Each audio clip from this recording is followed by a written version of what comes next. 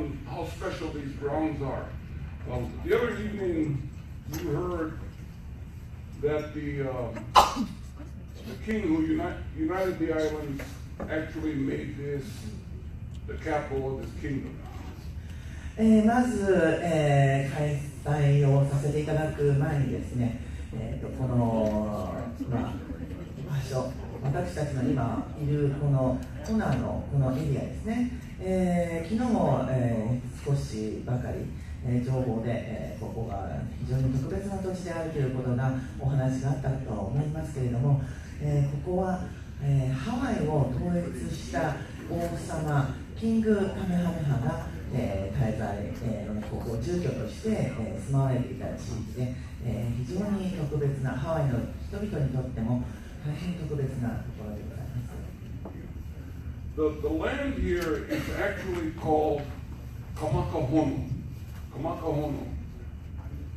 はい、この土地の名前は鎌ホヌというふうに呼ばれている、えー、そういった地名のある場所です。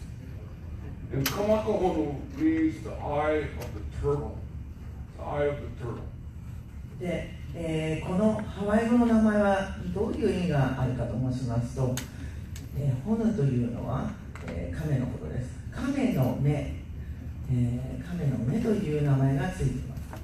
For Polynesians, this is especially relevant because the turtle is able to find, always find its way back to its birthplace. えーポリネシアの、えー文化の中ではこの意味は非常に、えー深い意味がございまして、えー実は亀という、えー生物は、えーこの離れていっても自分の生まれた土地、えー自分の生息地に必ず戻ってくることができるなので離れても戻るという性質を持っています And so the turtle is of special significance to Polynesian voyagers on voyaging canoes. ですので、えー特にポリネシアの航海術を使った、えー航海士たちにとってこの名前というのは非常に、えー大切そして重要な、えー意味を持つ、えー土地でした And so this morning, we're fortunate to have as our first speaker uh, a man who wears many hats. えーということで、えー今朝、えー第1番に、えー貴重、えースピーチをしていただく方をご紹介させていただきます、えーこの次の方はあのたくさんの役割をあ英語的に申しますとたくさんの帽子を持って、えー本当にたくさんのえー役割を担っていらっしゃる方です His uh, biography is in our the program uh, that was given to you yesterday. So I would encourage you to refer to his extensive background えー昨日皆様にお渡しいたしましたプログラムの方に、えー彼の履歴が、えーご紹介させていただいておりますのでぜひ、えー詳しい資料などはそちらの方を、えーご参照いただければと思います。But I'd also like to add that he himself is a canoe voyager, えーですがここで私が申し上げたいのは、えー彼自身が本当にカヌーの航海士のような方なんです。He may be among Hawaii's um, most active activists and advocates for renewable energy. えーなぜかと申しますと彼は本当にハワイにおいても最も、えーこのクリーンエネルギーに対して、えー活動を、えーしそしてさまざまな、えー形でアクティビストとして、えー運動を起こしていらっしゃる方であるからです He is uh, among Hawaii's leaders in advocating space travel to the moon and to Mars. えーハワイにおいても、えー最も最先端の、えー運動家でとして、えーそしてその、えー月や、えー火星などに、えーぜひ宇宙飛行で、えー行ってみようということを掲げて、えー運動をさせてあしていらっしゃる方でも。So at this time, please join me in welcoming the chairman and founder of the Blue Planet Foundation, Mr. Hank Rogers. えーそれではブループラネットの創設者、えーでもあります、ヘンク・オーガー様、どうぞお迎えください。 Wow, what an in- introduction. まあ、素晴らしいご紹介いただきましてありがとうございました。 I, I I hope I can live live up to that introduction. まあ、そのようなあの素晴らしい、えー紹介をいただいて、えーその期待に添えるかどうか分かりませんけれども、えー頑張ります、So, how many have, of you have heard me speak and know my history? えー今まで自分のスピーチをあのお聞きになってくださった方、えー手を挙げてくださいどれいらっしゃるか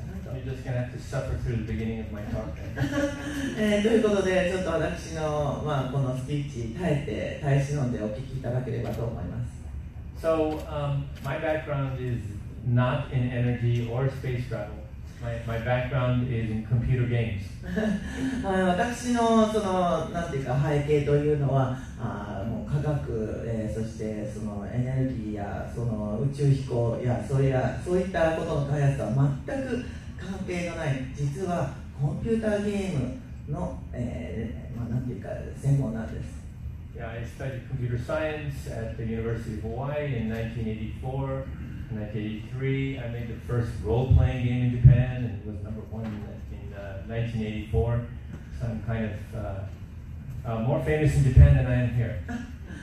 えーまあ、私はですね、えーコンピューター科学を専門にハワイ大学で、えー勉強いたしましてそして1984年に、えーその卒業しそして、えーとロールプレインという、えーことで日本に参りまして、えーその後、えー日本で、まあ、それが第一になったものですから多分日本での方が私の名前は知れているのではないかなと思いますけれども。All right. So what changed my life? Um, and that happened after I sold my company or one of my companies. Uh, this is maybe 12 years ago. And a month after I sold my company, I found myself in the back of an ambulance on the way to the hospital with a 100% blockage of the widowmaker. You know what that is? The widowmaker is the largest artery in your heart. えーなんとですね、まあ、あのこの、まあ、10年ぐらい前に、 えー実は自分の人生の中での一番の転換期を迎えました、えーそれは、えーまあ、その自分の、まあ、たくさんある会社の一つを、えーまあ、手渡して。そしてそれをした直後にですねなんとこの大動脈のこの一番その重要な心臓に、えー行くこの血脈がですねこう全部、えー塞がってしまうということで、うん、自分は、まあ救急車に運ばれてそして、えーその100%もう塞がってしまったという状態で病院に運ばれるということを体験しました Frankly, if I had been on this island, I would have died that day. でもし、えーその日ハワイ島にいたらば多分もうこの世にはいなかったと思います Partially because of the distance to the hospital, まあ、それは一つに病院に行くまでの時間がかかるということもありますけれども、and partially because they don't have angioplasty equipment at hospitals here. えーそしてそのこのハワイ島にある病院の中ではそのアンジオプラスティというその、まあえー血動脈を、えー開く、えーその病院にさ備えてある施設のその、えー機械がないということがありますので、えーオアフ島でいなければ、えー助からなかったということです。The speech is going to take twice as long as I thought. いや、すごい、いや、すごい、時間がこれね、通訳入ると、どうするので、だから言ったでしょ。 I'll shorten it. So, I, was, I mean, I was uh, in the ambulance. I'm thinking, first of all, you got to be kidding me. I haven't spent any of the money yet. and the, the second thing I thought was, uh, no, I'm not going. I still have stuff to do. それで病院のあに行く途中に、こうなんていうか、あの救急車の中で自分が思っていたのは、ちょっと待てよ、今行っちゃったら、お金、自分が貯めてきたお金、全然使ってないじゃないかと思って、それで、えーそれからもう、まあ、いや、自分は絶対生存するぞっていうふうに、自分を鼓舞する、そういった思いがこう、あこうそういろいろと、えー巡っていました。So I obviously survived, um, and uh, over the next couple of weeks, I, I deeply thought about my missions in life.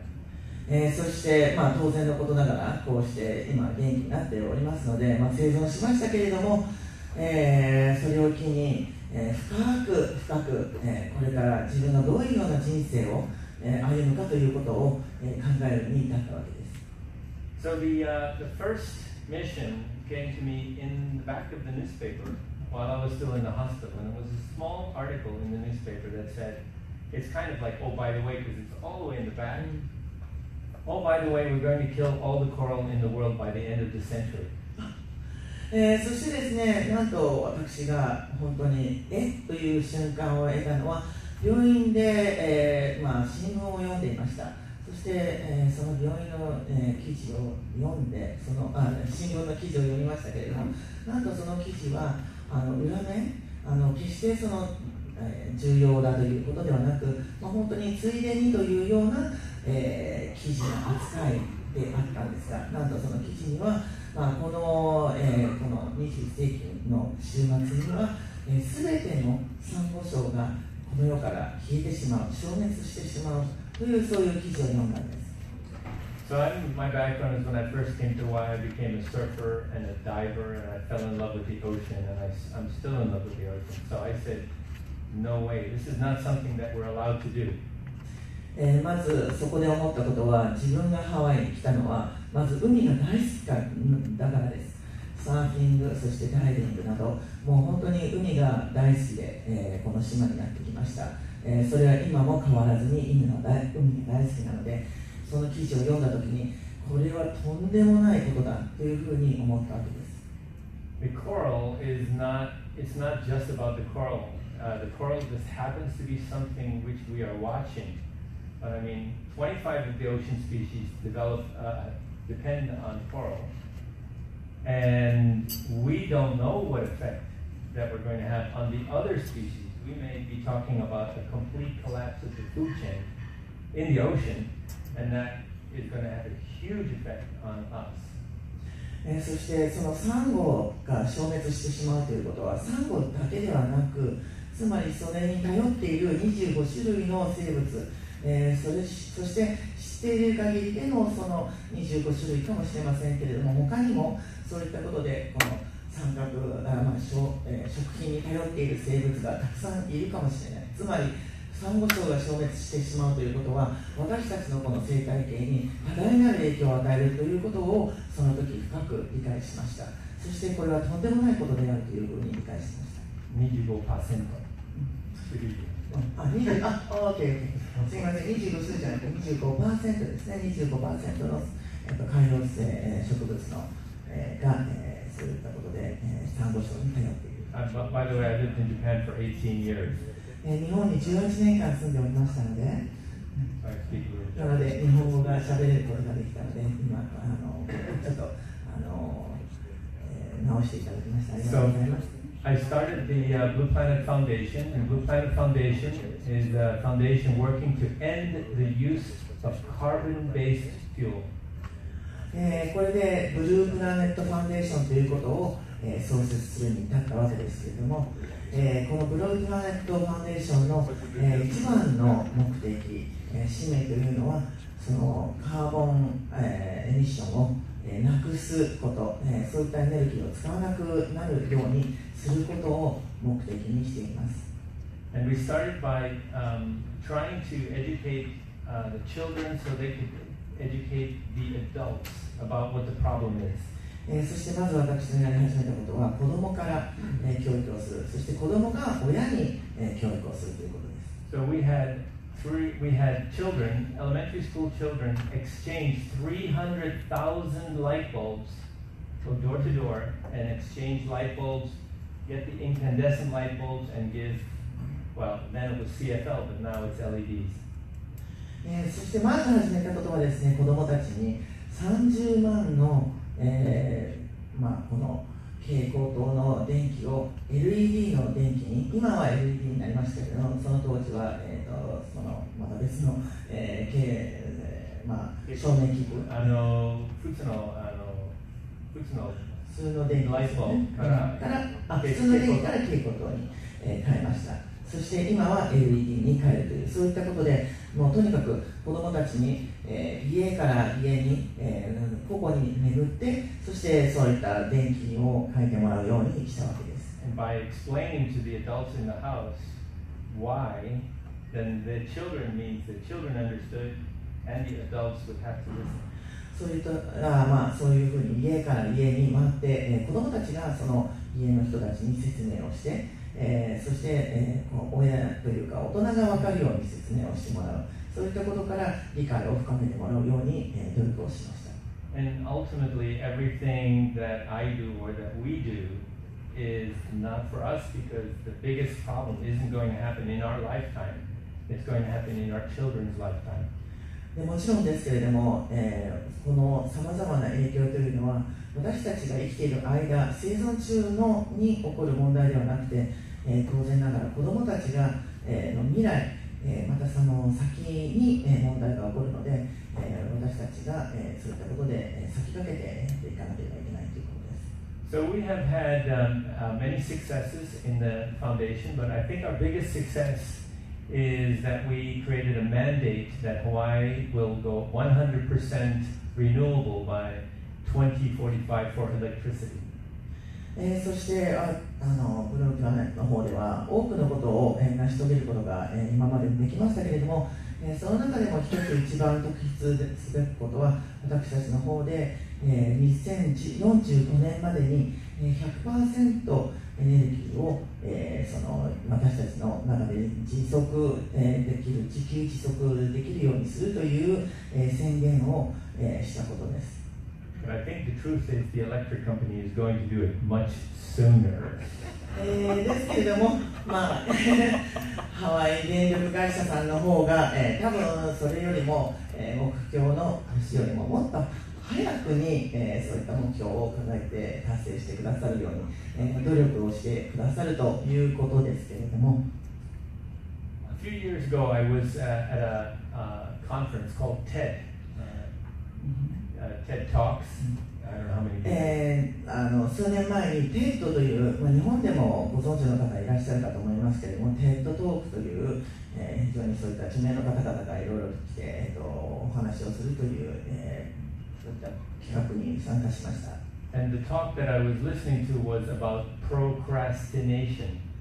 そして私が、えー、とテッドトークの中の一つの,、えーそのトークを、えー話を聞いていた、えーそしてすごくあと思ったのはそのプロクラスティネーション要するに検体というか、えー遅らせる、えーそういったなんていうかあーそのトークを聞いたんですね Two types of people. One starts right away, and one waits until the end. The deadline is near, then they have to do it.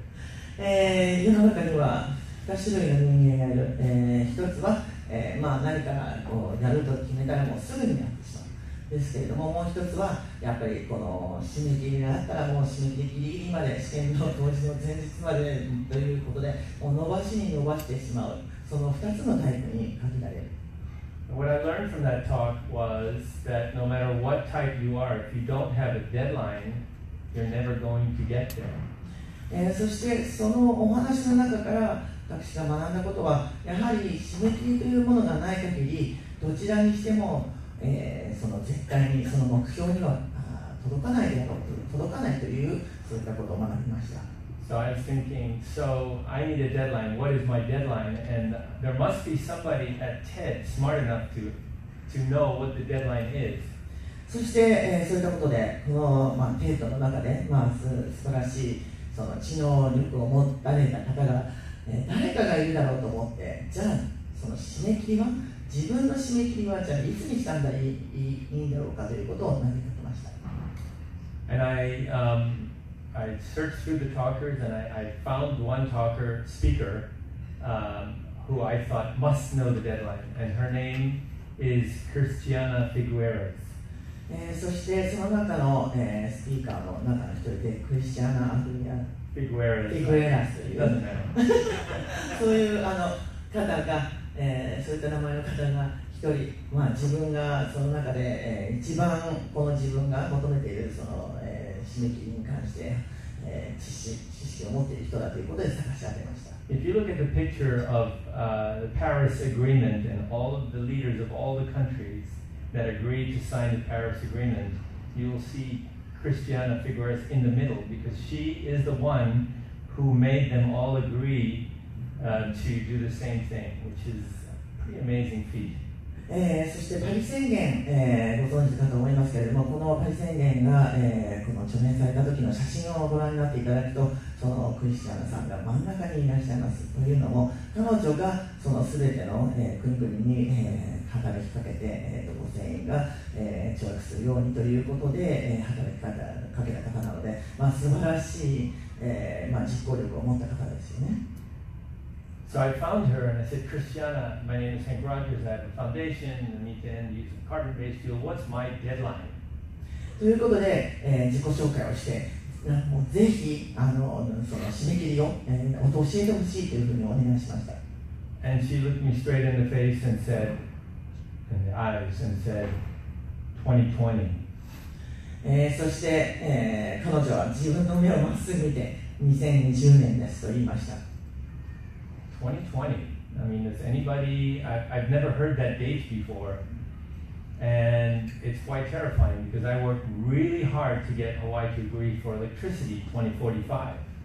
えー2020年というともうすぐですから、えーそれで、え2045年ということで、えー、とハワイの,、えー、と電源会社の方にこう、えーけしまあまあ、あの一生懸命そういったことで同意してもらうことになったのに2020年というのは非常に早いですから まあ本当にあの焦った気持ちがもう満連したわけです I, I think that date is not the date where it must end. I think that date is the, the date when we must tip. That must be the tipping date. 多分その2020年という彼女の、えー言った年というのは多分そのそれまでにということではなくてその加工気味になるその一番の、えー加工する、えー急加工する年が2020年でなければならないという、えー年だというふうに理解をしていますけれども So the bottom line is, uh, we started on this. We knew that we were going to have to do all of this in the 1970s when uh, Governor Ariyoshi said, "Let's make NILHA to solve these problems." えーこれは実は1970年代にはもう有吉知事が、えーネルハをこちらに作ろうといった時から、まあ、すでに分かっていたことですね。And we are now, 30 years later, going, "Oh my God, we have to finish this in the next three or four years." So we're the procrastinators. そういうことで、まあ、30年かかってやっとえもうやらないといやー困ったっていうことになっているので、まあ、私たちはつまり、えーその先ほどの話で言うと、まあ、要するに携帯グループの方に、えー要するに怠け者グループの方に入ってしまう人間だというふうに思わざるを得ません。Um, if, the, if we all woke up today, I mean, when I say we all, meaning everybody on the planet, and all said, yes, we have to do something about it in the next three years, we could. えーもし、えー世界中の人たち我々が、えーそういったことで目覚めて、えーじゃあもう、ね、3年後までに、えーなんとかこれを解決しようということでやれば絶対できると私は信じています Um, in the beginning of World War II, uh, Franklin Roosevelt said to Detroit, You're not making any more cars, you're making planes and tanks. That's it. えーその第二次世界大戦の初期に、えーアメリカ大統領のルーズベルトがあフィラデルフィラデルフィアで、えー製造されていた車それらにを車の工場に対して、えー君たちはこれから飛行機を作るんだそういったあの戦闘機を作るんだということで宣言して、えー製造をやめさせたように私たちも同じようなことがえーできるのではないかと思い So ます we have to say to Detroit, we don't want any more internal combustion cars, only electric and hydrogen cars. なので私たちはデトロイトの、えーと車工場に向かって要するにその水素や、えー電気の車だけ製造するようにしなさいというふうに命令をしなければいけないです、So I have some new dates for Hawaii. えーなのでハワイにおいては新しい、えー日付を、えー掲げます、Are you listening, Jay? えー、J さん聞いてますか？あ今カレンダー見てるってことで Uh, no more, no more internal combustion en- engine cars sold in Hawaii by 2025. えーではですね、えー、とそのインターナルコンバッション、その普通の車の、えー、とエンジンを使った書かれた車はもう、えー2025年までに、えーこの、まあえー製造というか走らせることを、えー輸入を廃止する。Norway has already done this. They said no more, uh, no, only electric and hydrogen cars after 2025. なので、2025年からはもう水素、そして、えー、電気だけに、えー、頼った車を、えー、しか走らないということです。あ、ノルウェーね。もうノルウェーはそういうふうにやっていますから。やってます。そしてオ、ランダももちろんそれに続いて、えー、ぜひ、えー、やろうというふうに話をしています。And if countries say we're not buying more of your cars, then all the makers will change. They have seven years. It's in the time.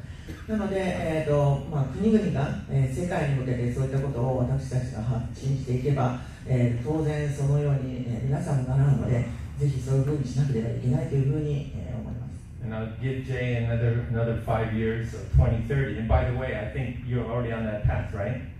えーで2000なので、えーとハワイ電気会社の、えーと社長には、えーぜひそういったことであと5年後にえー向けてもうでもそういったこともできますよね Big Island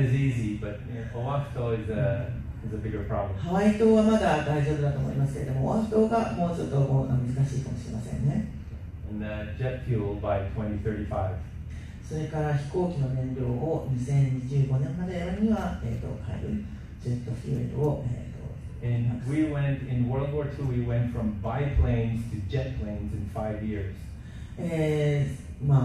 第二次世界大戦の時にはジェットの前にバイプレーンというあーですね。It's a plane with two wings.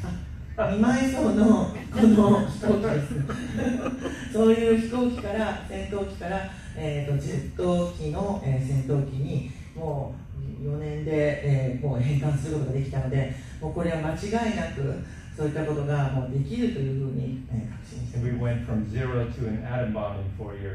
そしてその4年かけ、うんうんまあ、第二次大戦のその4年間の間に、えーその原爆も4年間で作るというなのでやればできるということですね So the answer is, if we want to really do something, we can. なので本当に本気でやる気を起こせば絶対にできるというふうに思っています And it's up to us to wake everybody else up and make sure that we're on that same path. なので私たちの責任はみんなが同じ方向を目指してそして目を覚ましてその方向に向かって、えー、進むということ。それが私たちの、えー、皆さんの世界に対して、えー、対する責任だと思います。ありがとうございました。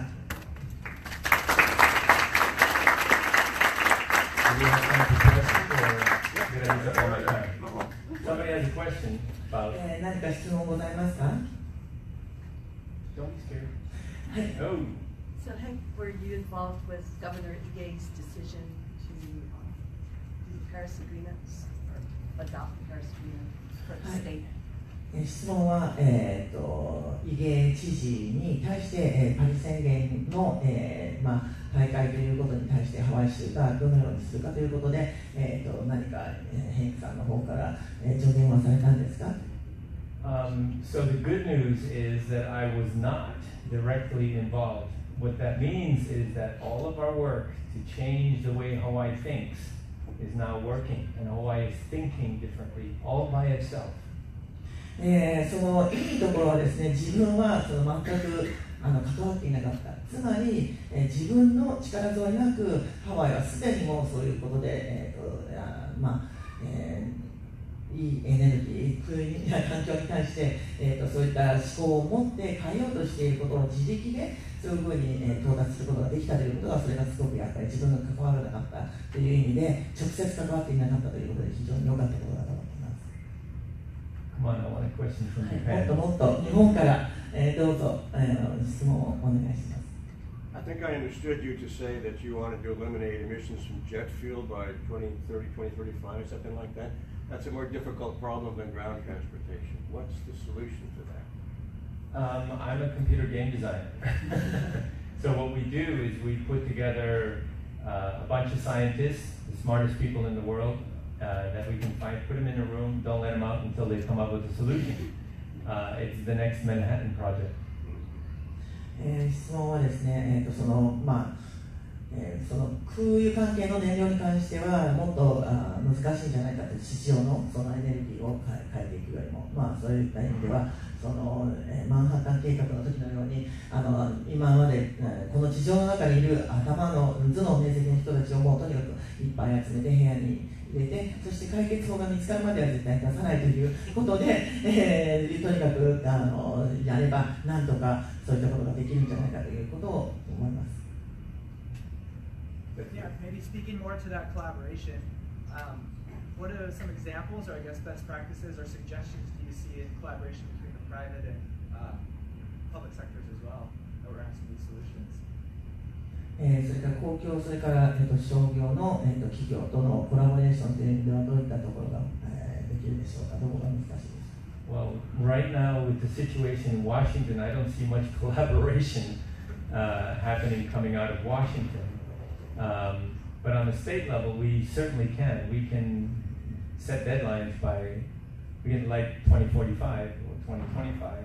We can set deadlines, and that moves the uh, private sector to change the way they think. Like, for example, the electric company said, we can do this by 2040, which is like, wow, that's amazing.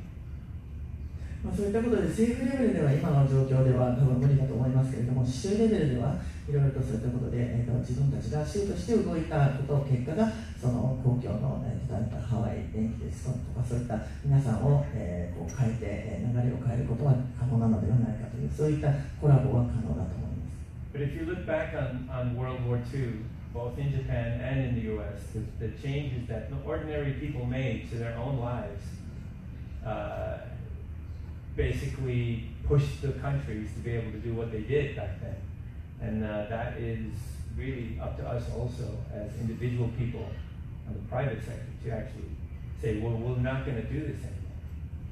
まあ、要するに戦時中のことを考えますと、アメリカも日本もそうですけれども、まあ、一般市民の人たちが、えー何かのその掲げた、えーそのものに向かって、あれだけの努力をして、その市民の力でいろいろさまざまなことが大きく変動していったということがあるので、そういったことを考えれば、えー、と同じようなことが、えーとできるのではないかと思います。And so, both in Japan and in the US, some, somehow the central government doesn't get it. And that means that the rest of us are going to have to do it anyway. えーということで、日米とも、えー、と政府が全くそういった意味ではあの全く、まあ、理解していない、この問題に関して。なので、ということはどういうことかというと、私たちが、えー一般市民が、えー、何とか頑張らなければいけないというふうに考えています。I think that's it. Well, thank you very much. Uh,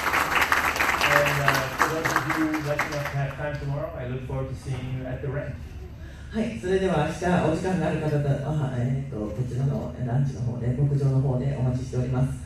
えー本当にありがとうございます The ranch is 100% off the grid, so we're already 100%. えー牧場の方はですね、もう100%あのオフグリッドですので、え And I drive electric cars, so my ground transportation is 100%. え、そしてあ牧場あの地域内は、え、全部すべて、車は電気車です。なので皆さんでもできますよ、そんな難しくありません。どうもありがとうございました。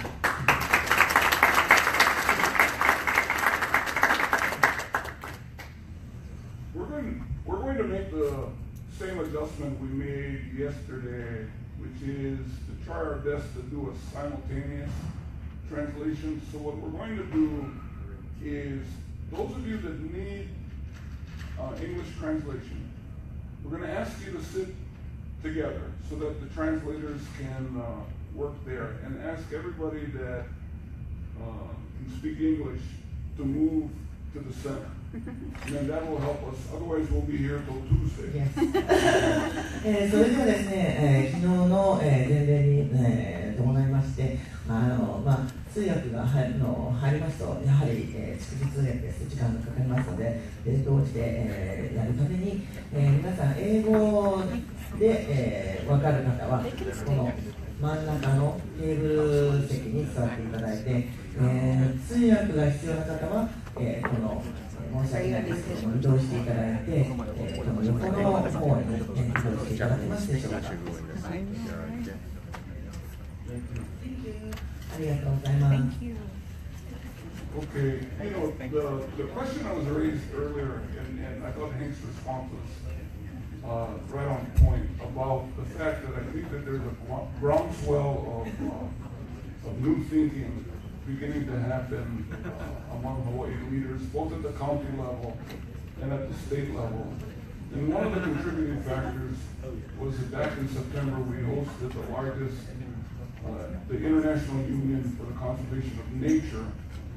And uh, you had 10,000 people from 190 countries convening in Honolulu. And uh, these topics of renewable energy, clean energy were at the forefront. And um, I think that did a lot to accelerate the learning curve uh, here locally about the international momentum that's gaining around these issues.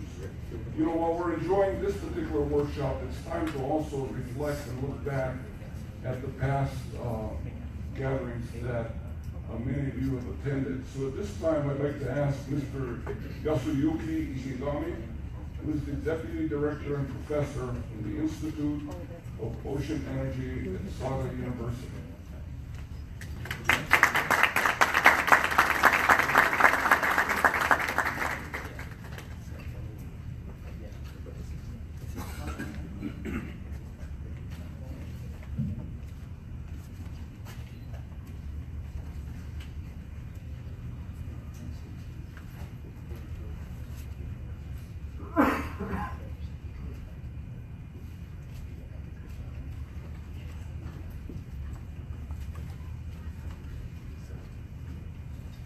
Hello, hi side.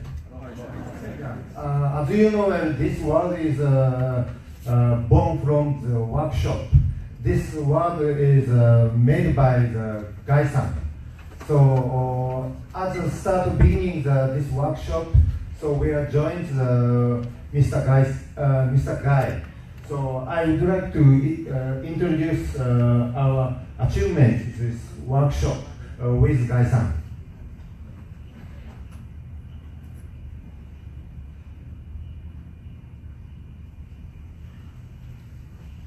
This, uh, this workshop is the mission of the ocean thermal energy conversion work.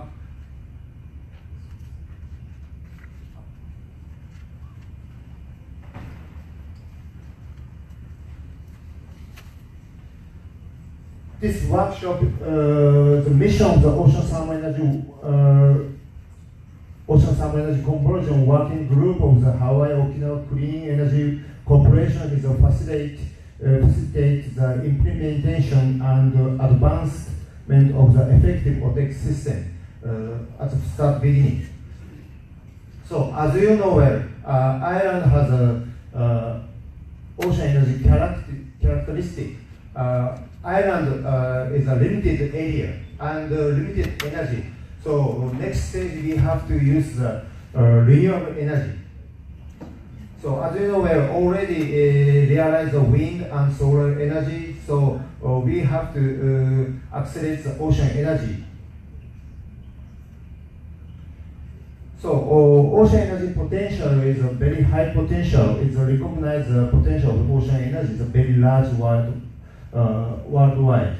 This is a reported IEA, International Energy Association. So Ireland. So uh, OTEC is expected as a base load. And ability to scale up the capac- uh, capacity and the individual plant. So, and very little onshore uh, space av- available.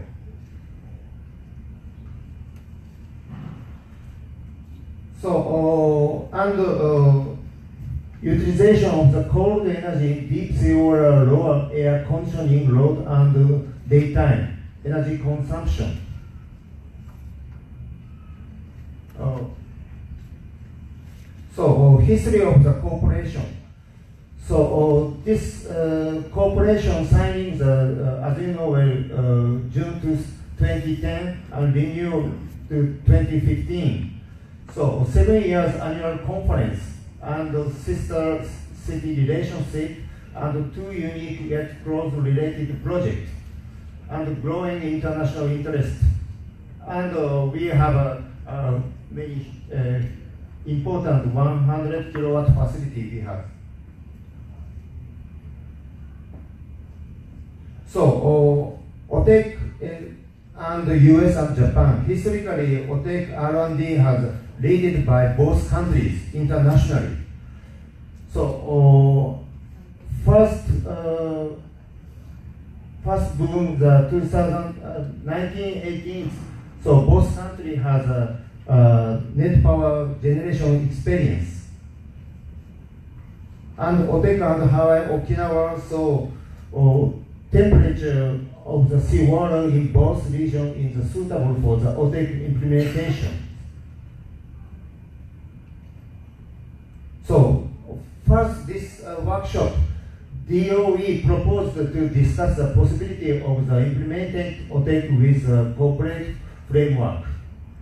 So, uh, to discuss the contribute of the implementation to the building and promoting the island model.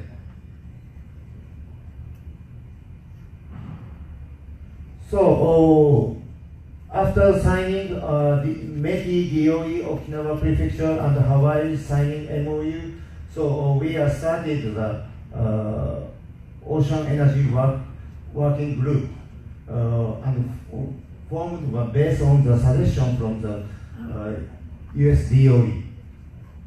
So first Ocean Energy Workshop we hold uh, started Kumejima uh, 2010 very historical photo. So after that, unfortunately, a great uh, East Japan earthquake. So uh, Kumejima advanced the deep sea water, facility using. So uh, we are complete the Kumejima model proposed of the cascade use the deep sea water. So uh, 2011, so NEDO uh, started uh, the ocean energy project. So after that, uh, we, start, uh, hold the uh, second ocean uh, work, workshop in Kona. So uh, during the, this workshop, so uh, Kumejima town and Hawaii County becomes a sister city. At times, uh, Hawaii large-scale hotel heat exchanger study started this one. Already started heat, for the heat exchanger.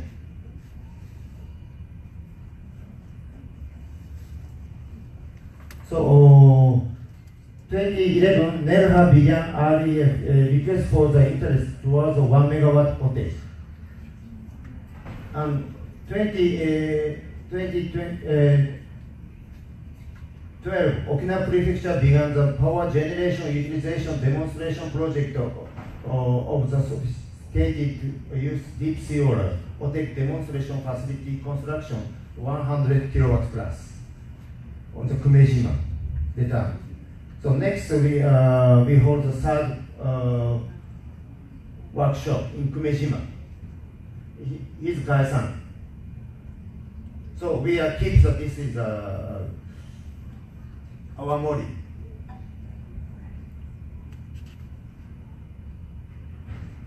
So uh, Empire Empress uh, to uh, visit Okinawa deep sea water facilities. Unfortunately, uh, 2012 is the passing of the guy. So, uh, 20, uh, 13 started Okinawa demonstration facility power generation. So, uh, the first uh, operation on the second room. So fourth uh, ocean ocean energy workshop uh, in Kona. Uh, at, at this year's uh, first international OTEC symposium held in Hawaii, French and Korean co- main company announced a roadmap for the development of OTEC. Uh, uh, 2014 announced the French uh, France DCNS and Akuo Energy will uh, received funding from the e- EU uh, Foundation. Uh, the uh, about uh, 100 million US dollar for the one megawatt OTEC project. So uh, uh, next stage uh, OTEC demonstration uh, project started uh, with uh, Japan Marine United and Saga University.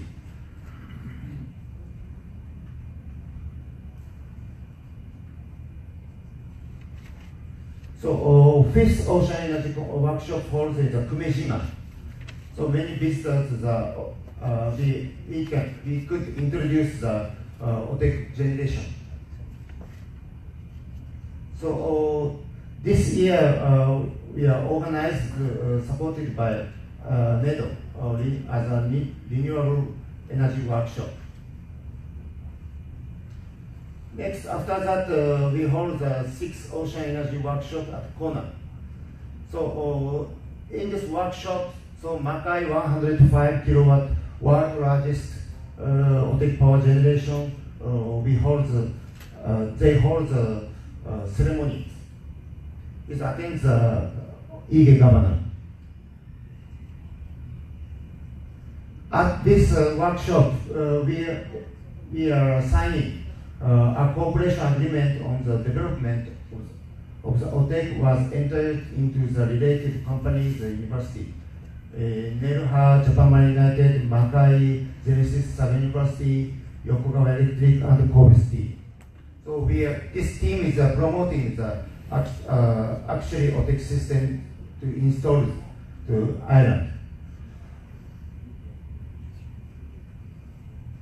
So uh, last year, Okinawa government uh, started the uh, post OTEC Seola youth uh, demonstration after OTEC on Kumejima. So last year we hold the seventh uh, workshop at Kumejima. So uh, this uh, workshop expanded uh, ocean energy symposium and workshop to including OTEC, deep sea oil use, environment cons- consideration, and education, uh, and keynote by the Dr. Kashiwagi and Vicar of the U.S. Embassy in Tokyo. Uh, over the 100 uh, participants. So uh, last uh, this year, uh, ah, last year, construction of the post OTEC deep sea oil for piping for the demonstration in Kumejima, and this year, uh, so uh, NEDO project installed uh, 50 kilowatt uh, new turbine and new heat exchanger. So totally 100 uh, generator installed. So uh, 2015, uh, Ige Gamada also announced. So uh, I believe that our countries are working together really with accelerate the development of the OTEC as a believable from energy, renewable energy source for the world. So, so uh, this uh, figure shows the Japan OTEC roadmap. So now is uh, uh, operating here, 100 kilowatt. Next, 1 megawatt plus in Kumejima, then uh, 10 megawatt plus the offshore tank. So uh, finally, 100 megawatt the commercial plant. So uh, Kumejima project is uh, evaluate and uh, uh, bankable uh, of OTEC. So uh, using uh, 100 kilowatts uh, experimental data extend to 1 megawatt. So we are uh, get uh, uh, good data to uh, realize OTEC. So as you know so uh, COP uh, 21st, we want to contribute uh, uh, using OTEC technology. So uh, we would like to uh, lead the and test dem- uh, development in U.S., uh, Hawaii, and Okinawa. To we would like to contribute it to uh, many island uh, religion. So uh, we want to uh, using uh, achievement, their uh, good de- expen- demonstration data, we want to uh, join it to one megawatt plus technology, technical and uh, commercial uh, validation. So together we can uh, we can lead the world in the uh, ocean renewable energy provided power 24 and 7. So finally, this figure drawn by uh, Guy-san. Uh, at the beginning of the workshop, uh, we have discussed uh, many discussed how to realize the OTE. So this figure, Guy-san's concept, OTEC hydrogen test project, uh, Japan technology. So we are type, typing. Uh, using this uh, uh, figure we type. So uh, OTEC and hydrogen project and island model.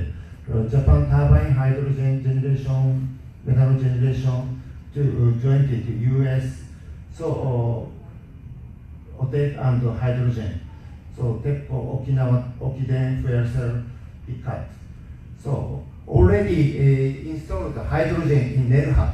So next step we want to realize the one megawatt OTEC and hydrogen uh, using the Gaisan concept.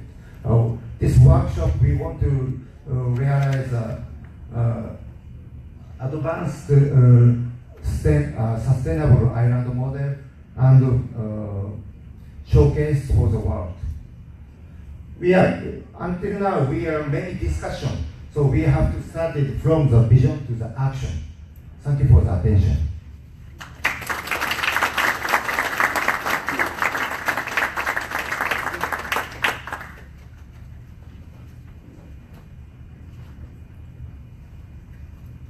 Our next speaker, uh, you couldn't think of somebody better to provide uh, Hawaii perspective on it. He's been here since the beginning, drafted the original legislation in 1979, and in 1996 co-authored a book published by the United Nations on OTEC. Today he is the Director Emeritus of the Natural Energy Institute at the University of Hawaii. Please welcome Dr. Patrick Takahashi.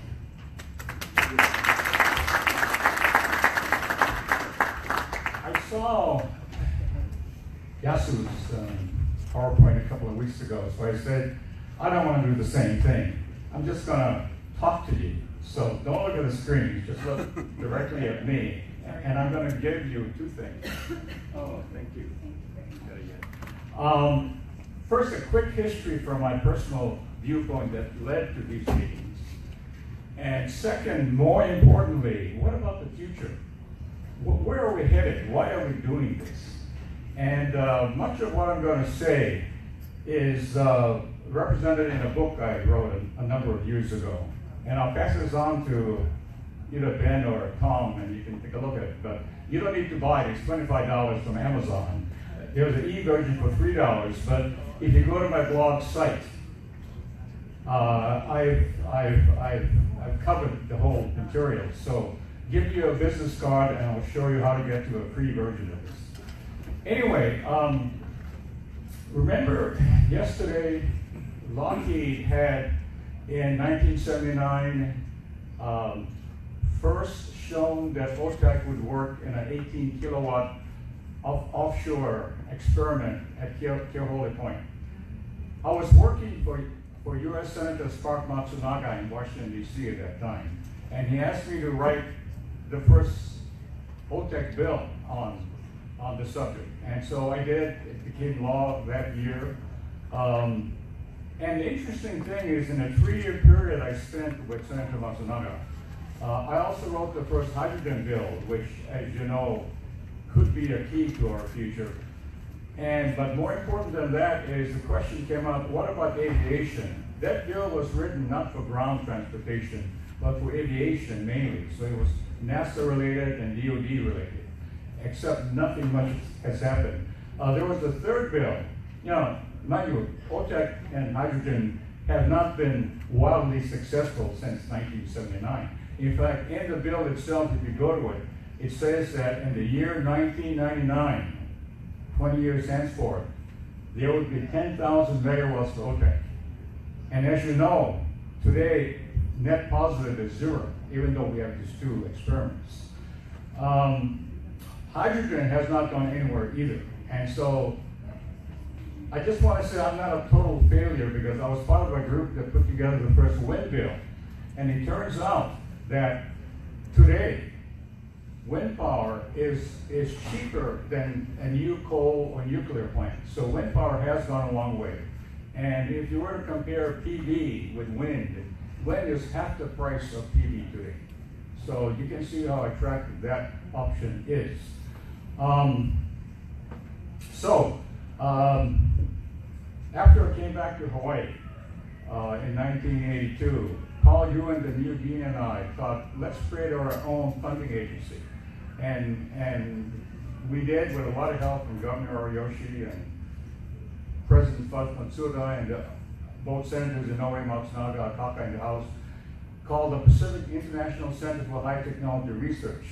And in the midst of what was happening, uh, Senator Matsunaga talked to President Reagan about OTEC and working with Japan. And when Reagan went to Japan, he worked out with Nakasone an agreement to support PICHTR and use OTEC as the key foremost um, project to uh, support. And it turned out that Japan provided about a third of the $25 million we got to build uh, the open cycle plant that you saw, the, the, the base anyway, at, at uh, Nelha yesterday.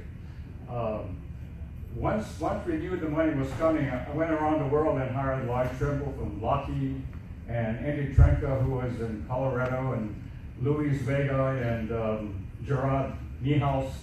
Uh, they had a small company in Berkeley. Uh, in Japan, Steve Masutani was working for Hitachi. So I brought them to Hawaii, and they're the ones who built that 255 kilowatt um, open cycle. And the reason why open cycle was selected is because fresh water is an important byproduct, and there is no secondary fluid, so there is no ammonia problem. And so no one has done open cycle since then. So I think it's something you want to consider. It's, it's less efficient, but you know there are some pluses to that. Um, in the process of doing it, in 1992, this project actually got started at, at Point. But in that year, a couple of other things happened, which will lead to why I think we're having this meeting today here. Um, Richard Matsuura, who was a state senator and who had worked in the Green Revolution for Norman Borlaug, and I put together the first paper on the Blue Revolution. And this was presented at a, a, a deep sea uh, platform, uh, international forum. And um, that led to um, a whole series of meetings with, which, which ultimately came to the point where in our second Okinawa Hawaii meeting, um, Guy Toyama and I decided, why don't we create something to build an offshore system? And this resulted in the Pacific International Ocean Station, a $1.5 billion adventure that um, uh, we have done a lot. Now, Guy passed away, as you know, in the meantime, but that group is existing. And the same characters get involved, Matsuda, Ariyoshi, and so forth. Um, the, the question then is, where did you get $1.5 billion? It's not going to come from government. It's not going to be supplied by industry. It has to come from, and I'm sorry it's not here, billionaires. Uh, you need the right person who uh, wants a legacy, and, and the next frontier for economic development is not space. I'm sure um, a lot of these billionaires will not agree with me like, uh, like Musk. But um, it's, it's the ocean. And, and what it is, is that um, imagine this platform, upwelling fluids, which you release into the ocean. It, will create a nutrient base if you can keep it in, in, in the euphotic zone. Uh, you can have next generation um, marine biomass plantations. Uh, you could have perhaps uh, the ultimate ocean ranch. And one of the projects they had with uh, Sun Yat-sen University in Taiwan, because they had a big aquarium that had a whale shark. Mind you, a whale shark is not a whale, it's a shark. And one whale shark, and these are, we're up to 40 feet. But uh, one whale shark mother produces several hundred babies. So can you imagine someday an ocean, the ultimate ocean ranch of whale sharks, um, to replace beef? And uh, so we looked at that and thought that was kind of interesting. Uh, I've never had whale shark, but uh, it, it, it, is eaten. Uh, so in 1992 also, something called Green Endotopia was formed, and this is a group around the world who decided to pick islands where we should focus uh, for renewable energy. And um, Miyakojima was, was selected for Japan, and, and today if you ever go to Miyakojima, off Okinawa, um, the main island, uh, you'll see a whole bunch of every but, but also Kumejima came up in the discussion for, for OTEC. And to some degree, uh, that led in that direction because the universe kind of begins things. So eventually working closely with the DBD director and, and the energy coordinator, people like um, uh, Sage Anaya and Maurice Kaya and eventually Mark Glick, uh, this meeting was formed. And uh, Mark Glick, incidentally, is not with DBD anymore. A year ago, he moved to the University of Hawaii, and of, of all the interesting developments, his office is right next to mine on campus. Uh, I'm the only person I know in the world who's been retired from a university for 17 years but still have an office on campus. So Mark is next to me in case you want to find him to follow up on, on, on these discussions. So um, that's where we're headed. You know, we're headed to a time, I hope, when ocean thermal energy conversion can be the heart of a floating platform that would be the blue revolution. And not only will you get products like hydrogen and um, uh, aquaculture, uh, electricity will be used for a range of things, not only to, to supply your homes, but it's going to be way out in the ocean there somewhere.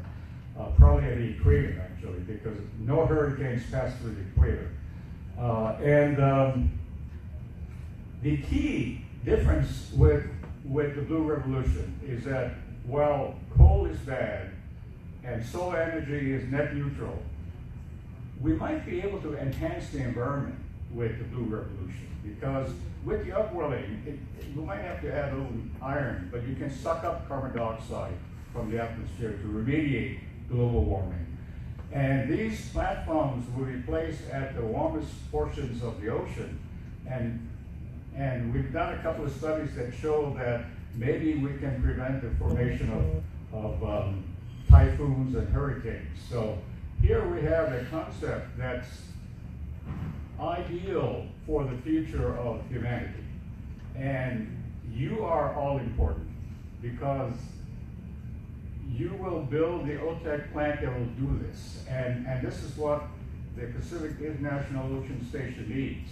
We need two things. We need $1.5 billion, and we need the OTEC technology. So that's the past, and that's the future of why you're here today. Thank you.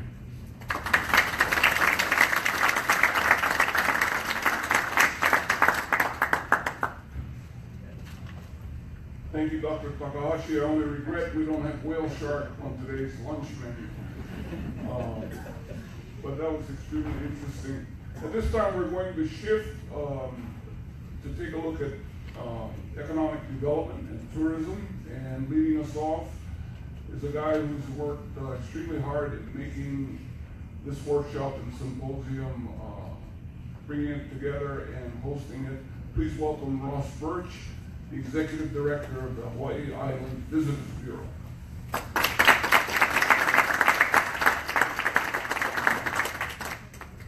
Give me a second here to bring up the presentation.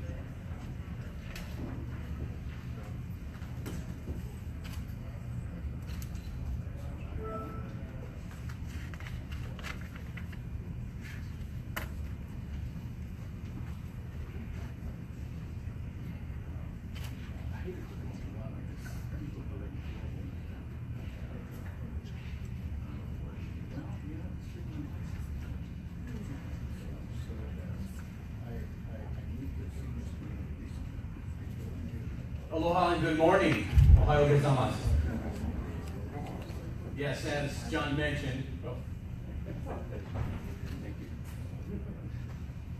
As John mentioned, we are switching gears a little bit here. We uh, tourism does have a little tie to economic development and also tied to the uh, sustainability and conservation of the island as well. And more and more so, as we create sustainable tourism, we're creating sustainable entities that work around it, and it's our way to actually educate our tourists on all the great things we do on the island and throughout the state as well.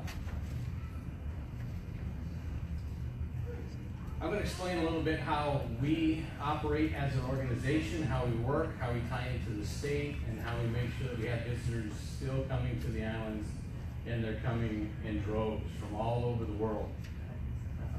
Our organization, Island of Hawaii Visitor Bureau, um, is a island chapter, one of the chapters of all the different islands that's a subset of the Hawaii Visitor and Convention Bureau. They're also known as Hawaii Tourism USA now, under the umbrella of Hawaii Tourism Authority. So we work directly for them, mainly on the US market, and 85% of the visitors traveling to the island of Hawaii are from the US mainland. 85% of the US mainland visitors coming from the west coast between Seattle and San Diego. So we really have a core base group of where most of our travelers are coming from. So our main focus is still on that area. Like anyone who's a fisherman, you go fish where the fish are. It's much easier. So we focus a lot of our efforts in that area. And then as you can see, we have partnerships around the world. Hawaii Tourism Authority has contractors in all the major market areas of the world. And one of our big focuses on this island is the Japan market as well. It is our largest international market, and it's growing day by day as well now that we have direct access back into the uh, Ellison Onizuka Kona International Airport. I have a very small team of eight individuals altogether, including myself. We're based here on the west side of the island. I have an office at the Mauna Lani Resort, and I have individuals that really head up different sectors. I have one that takes care of international and the group or CMI market. I have an individual that does the marketing and public relations, and then I have uh, subsidiary sales individuals that really focus on the U.S. mainland market directly, travel agents, wholesalers, and those who feed the market to come into the state. We use a lot of different assets in order to get our message out there to entice people to come to the islands. And I didn't mention it early on, but I do have one of the best jobs that anybody can have. To entice someone to come to Hawaii and to come to an island is not very hard. It's just being in key places at the right time. And we use these assets to help us send our message out there. So every year we refresh and we create a vacation planner that's available in print and online. We have maps that are updated every year. We keep those fresh.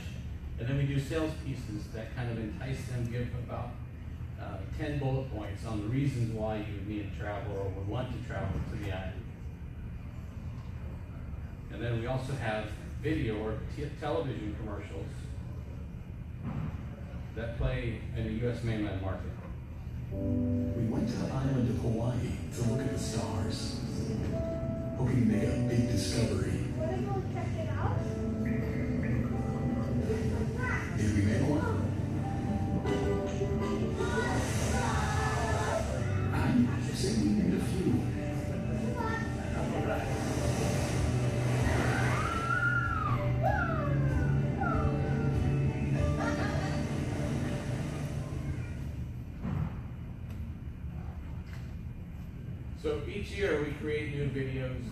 Commercials to entice our visitors to come to the island. The, this video or this, this commercial is ran in a 30 and 60 second version, and we actually use a lot of the different assets we use from the scientific side, from our cultural side, and from um, the sustainability to, and it's more of an education piece. It's, it's the father-son bonding while they're learning about all the great things that the island has to offer and how it's maintained. Now, who are we trying to attract to be a visitor to the island? You would think we're trying to attract anybody and everybody to come to the island, which in some sense we are. Our key focus is in the four different major categories of the type of travel. We've narrowed it down to the avid traveler is our key customer. Avid traveler is someone that usually has a passport, someone that makes at least one to two trips a year, and someone that's in a certain financial bracket that allows them the, the availability to travel to Hawaii. So we kind of narrow it down in a demographic that way. But we use different assets to attract different types of travel. So someone who's enticed by uh, cultural history, they're more experiential, they're looking for these experiences and they want to really engage in the area that they are. So we have the culture traveler and we use assets tied into our cultural side to bring those visitors here. The golf traveler, that's a pretty obvious one. That's the reason why we try to attract the golf travelers, not necessarily through the golf assets or to entice them to come on a golf vacation. The golf traveler fits the demographic very well. Also, they're more traveled, they're more experiential. They will play golf during their vacation, but it's not really the, the main priority of the vacation. So they're that type of individual we're looking to bring to the island. Outdoor recreation travel. This is one that our island fits up very well to. The outdoor recreation traveler is someone that is attractive because the availability and expansiveness of the experiences we have on the island are very easy to attract them to come here. And then other is kind of the catch-all. So you always have to have a romance. We're definitely a great place for honeymoons or weddings. And also the multi-generational family vacation is kind of fits into that romance and the family. We also dabble a little bit in the health and wellness, LGBT, and culinary visitor. So there's a lot of events we have on island that we showcase and we utilize them to entice the culinary traveler as well. Now here's some statistics as we're getting into the state here. So it's over an 80 billion, it brings 80 billion to the economy, the combination of tourism and military to the state. Uh, for the first four months of the year, we brought in $657 million in tax revenues through the tourism. And this is a 10% increase over last year for the same period of time. So it's definitely still growing in great numbers. On our island specifically, our, the tourism industry enables 14,400 jobs on the island, uh, which is about one fifth of our total jobs, and it's our largest economy on the island. Our visitor arrivals uh, at the end of April for the first four months of the year are 12.5% up year over year. Or, and the previous year, last year, we had 1.55 uh, visitors, which is only 50,000 less than our all-time high of 1.6. If we continue on this pace through the end of this year, we're going to hit 1.75, which is far exceeding actually our all-time high of visitor arrivals to the island.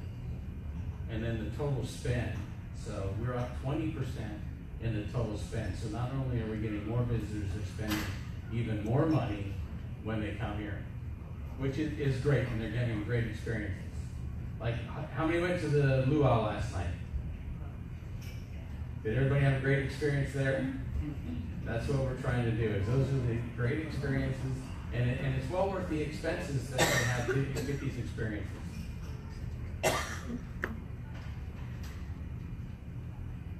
So we do have some improvements. As, as we grow in tourism, we're expanding and we need to continually to improve our uh, facilities. And one of those is our Kona Airport. Kona Airport is the largest small airport in the state. We have 8,000 visitors per day not just visitors, but locals as well. So there's 8,000 individuals that are passing through this airport, which was created originally to handle 500,000 on an annual basis. So we're running 3 million people through Kona Airport that originally was constructed for 500,000. So currently we're under a $75 million expansion or a improvement which will make the flow of those 3, 3 million individuals much easier in the process, a lot better. We're still going to remain a nice, quaint island airport where you still will not exit off onto a jetway. It will still be that island experience, so you'll come off of stairs or off of a ramp, even into the renovation period.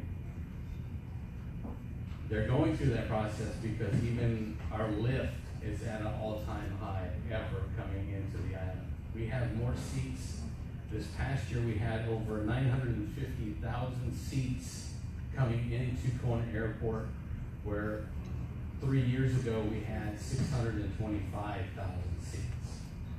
We're continuing to add more and more lift. Part of that is Japan Airlines announced on September fifteenth, they will start daily service from Narita Airport into Kona. They're flying a seven sixty-seven three hundred, which has about hundred and ninety-five seats on it. So we're gonna see about an additional seventy-five thousand seats per year coming in on Japan Airlines. United Airlines just made an announcement as well. They're running daily flights now from Denver into Kona. And they're also increased another additional daily from LA and another daily from San Francisco. So yes, we're stacking airplanes on top of airplanes on top of airplanes. That's the great thing about not having jetways is we can park them anywhere and people can get off and on. So that allows us to expand without going through that major uh, renovation at this at this point. So it's all great news on the lift side, and, and we're moving forward and continuing to, to entice new different areas to come in. So Japan allowed us to open the access internationally. We're also looking at different entities uh, coming from Korea, from China, from other countries, even uh, Oceania could be looking at coming direct into Kona as well. So we do tie our tourism into the sustainability, and we try to use our assets to promote the great sustainable assets on the island. Uh, this is a video that we produced. Uh, each year we go through and we work with a local television company.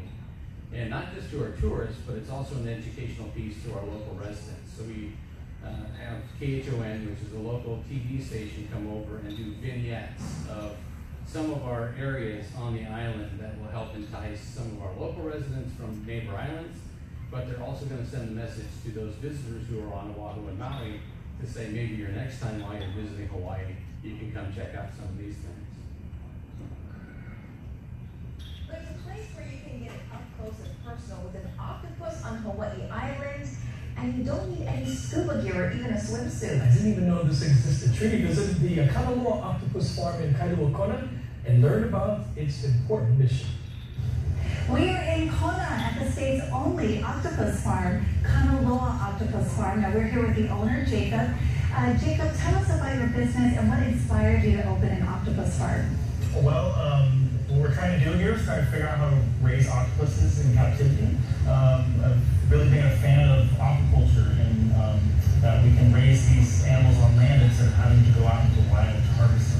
Octopus aquaculture is pretty important due to overfishing. Um, you know, the, the problems with overfishing is pretty localized throughout the world, so there's quite a few populations that are doing great, uh, but it really has to do with the culture that they are next to. So, um, California, people don't really fish for octopus too much, but over here in Hawaii and you know places in Asia, uh, we fish for pretty heavily. Um, so we can raise them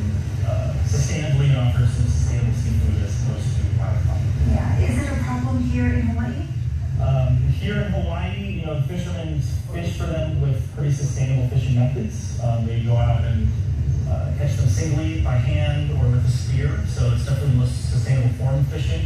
Um, however, there is some evidence that uh, populations are declining here in Hawaii. Uh, anecdotally, uh, you'll ask some of the old fishermen, and they say that the populations uh, are declining, and they see a lot less octopuses out there. Mm-hmm. So tell us about what you do here, because you do a lot of research on the premises. Yeah, so this is really all about research. We're trying to figure out how to raise them in captivity. Um, really, all the commercially important species of octopuses haven't been figured out. Um, these are uh, octopuses that have a very small larval stage, and this is really, really difficult to keep alive. They require a very small and specific type of food uh, called plankton. Okay, and you've been doing this for just over a year? Yes, about a year and three months. Okay, so how is your research funded? Um, our research is funded 100% through tourism. We allow people to come in and look at the research that we're already doing, and uh, that funds our research totally. Okay, so you do two tours a day? Yes, two tours, one at 10 a.m. and one at 2 p.m. Okay, so we encourage everybody to come on down, check this out. Uh, coming up on Living 808, I'm going to get up close and personal with an octopus because I heard they're pretty friendly, right? Yes, very friendly. Okay, can't wait. Thank you. Thank you. It's really cool. Yeah. Kanaloa is uh, the, the god of the ocean, god of sea. Yeah, so maybe that's how we get it. But also Kanaloa, when you, when you talk about Kanaloa, the god, So did you hear when he said he's completely funded by tourism? That's why we do these things. And that this piece was over five minutes long on the news. It sits on the website. It's out there continuously. You can go um, check it out on, on KHON and all of our partners there. But it, it was our ability to give back, make the buy for them so that they could get the information of what they do out to the rest of the state, kind of get a little bit more awareness of all the different things that are going on right at NELHA. And we are, we had the opportunity last night. We ran into a celebrity from Kumejima who's going to be in our very next video in the Japan market.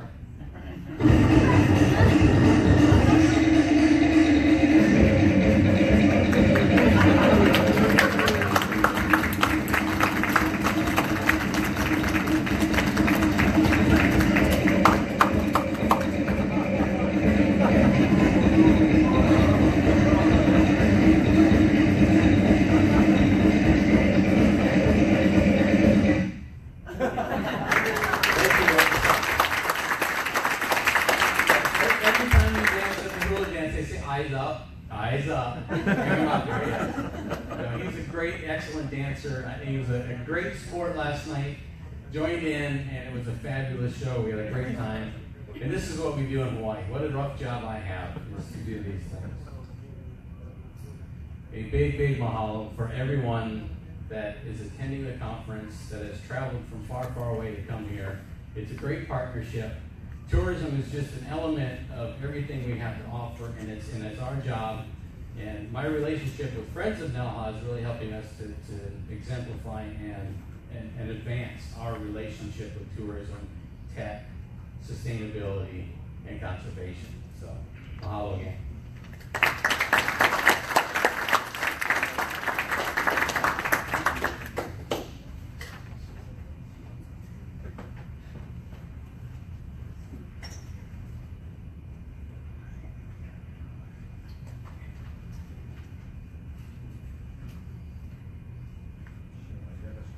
Thank you, Ross. The one uh, image that was missing was his latest golf scorecard.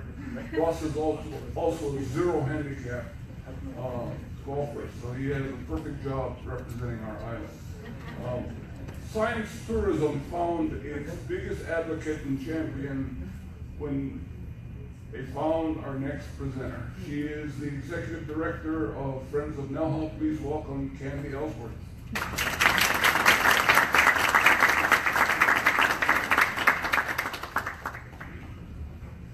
Aloha, everyone. Aloha. Good morning.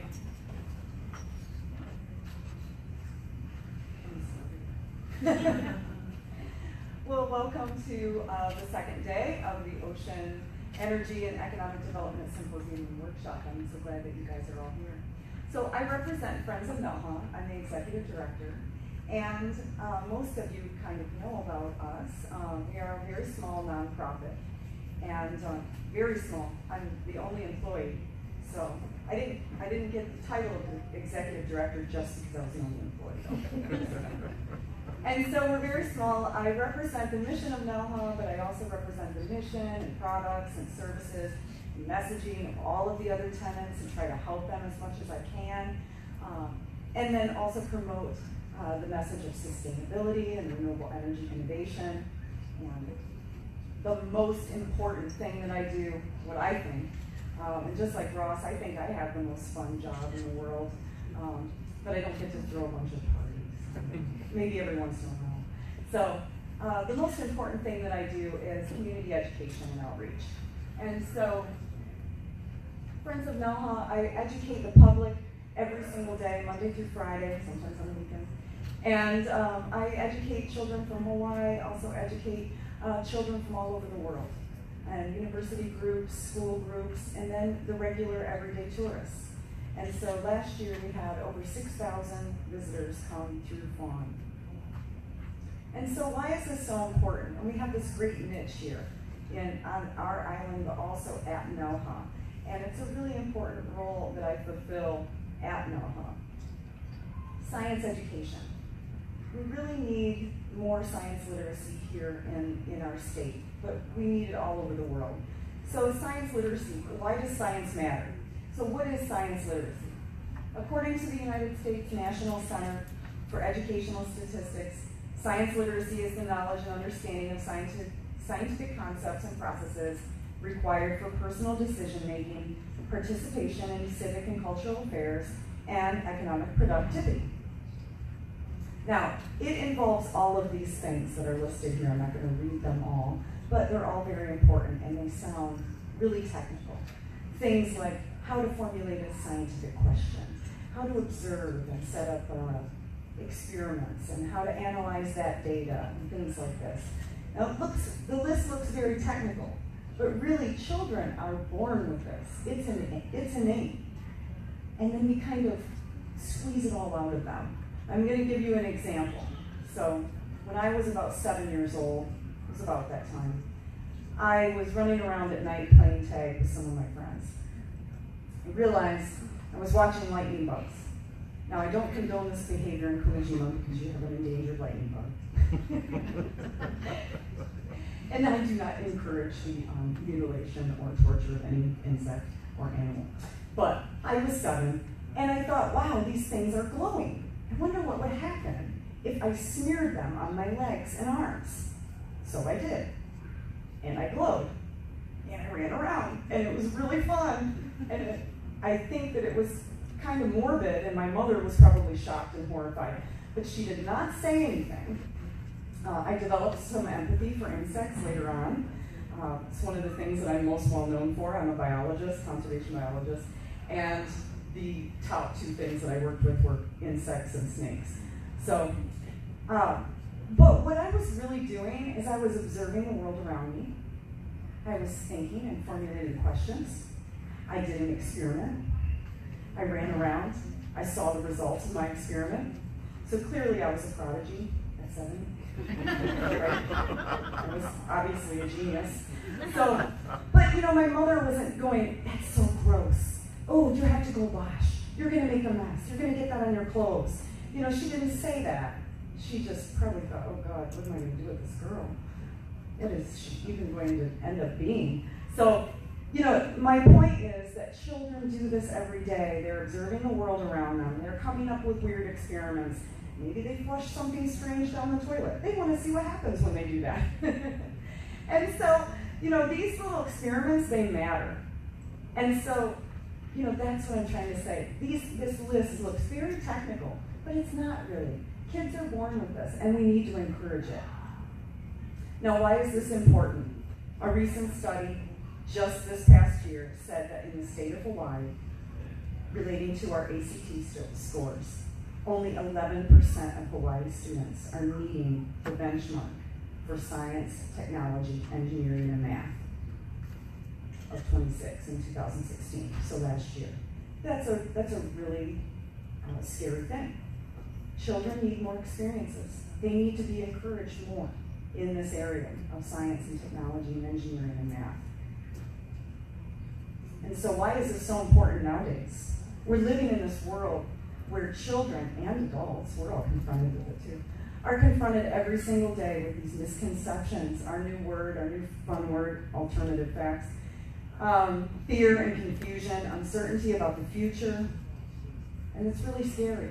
You know, kids are constantly getting this message. We're getting it all the time, and it's, it's depressing enough. But think about kids that don't have the tools to, to cope with this. And so science literacy gives, empowers children with the ability to combat these issues and to think about them and, and plan and empower them to address these, these uh, questions that have to do with our future, right?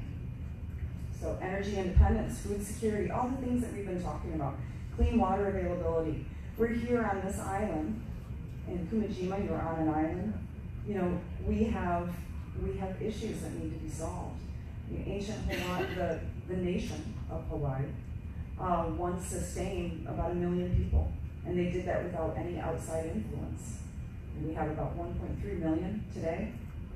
We should be able to do that sustainably. And so why is this so important here? We've heard this for the past few days. So Hawaii was the first state to sign the Paris Agreement. Hawaii County was the first, and then the state to join GLISPA, making this commitment towards a better future.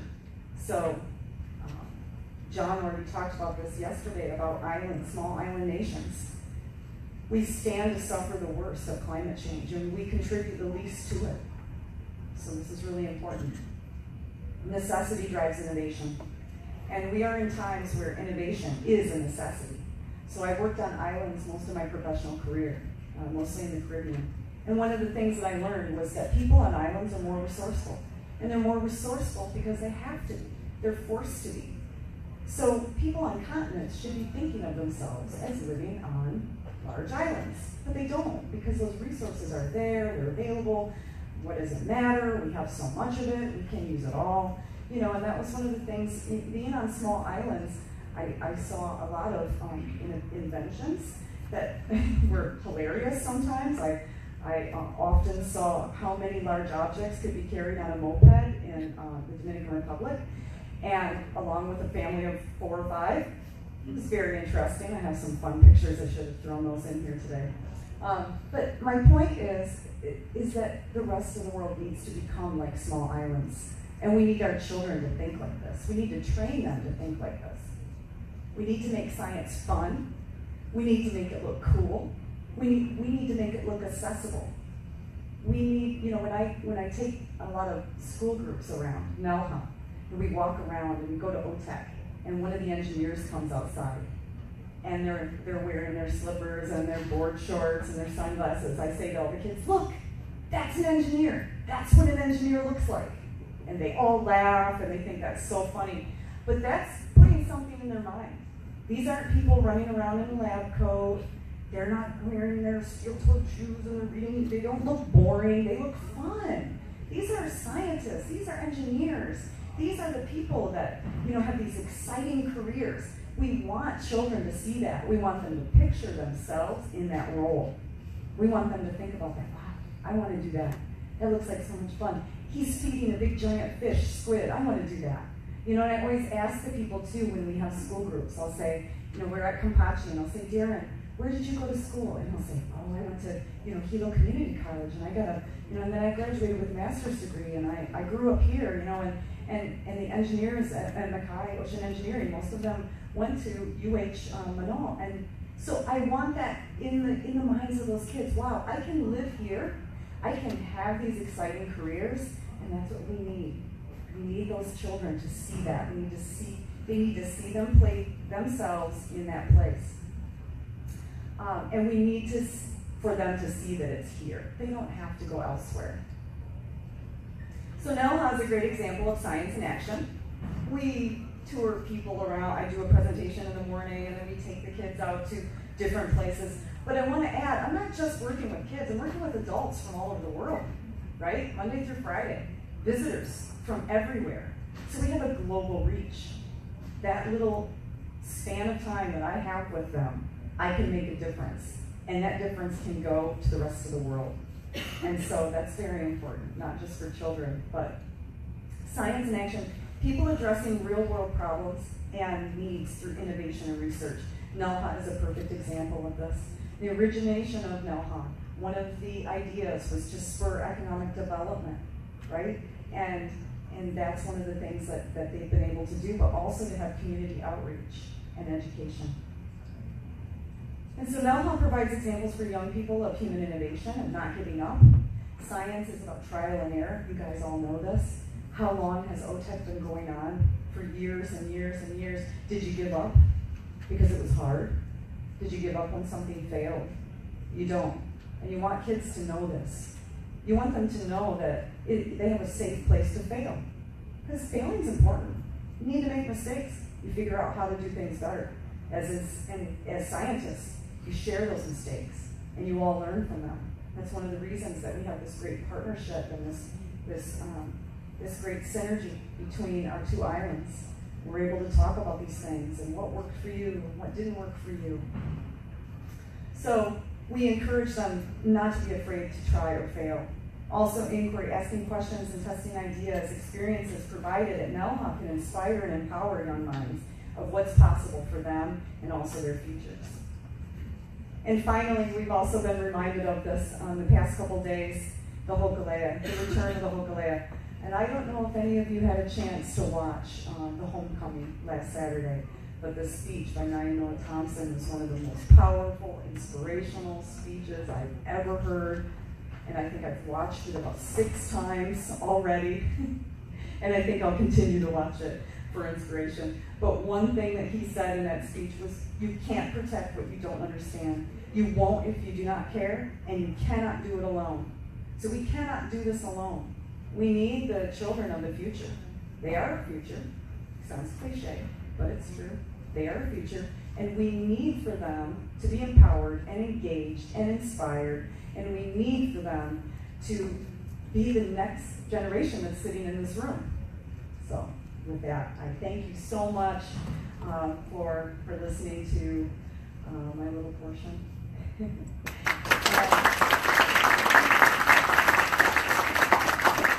And I also thank you all for being here. I had the great honor last year of uh, being in Kumejima, and you guys welcomed me so much. Uh, I felt like family, and now I get to see you all again this year, and I'm so excited. And um, I'm, I'm, really happy for this um, this partnership, and I hope it grows and um, and expands with education. And, and, speaking with some of the people from Kumejima, but that relationship between the students on the two islands is wonderful. Thank you so much.